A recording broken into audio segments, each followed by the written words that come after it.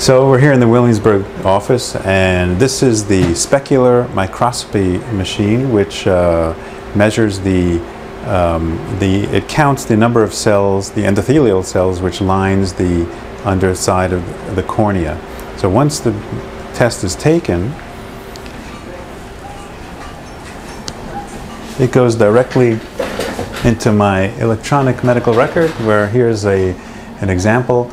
This is uh, this is a, um, uh, a, a, microscopy, so it, we're seeing it's almost it's an image of what the cells look like on the underside of the cornea. So it's a very useful machine to screen cataract patients because uh, these cells are responsible for pumping out fluid out of the cornea, and if you don't have enough cells, uh, you can get into trouble after the cataract surgery. So it's a nice test to screen patients who may not be good candidates for cataract surgery.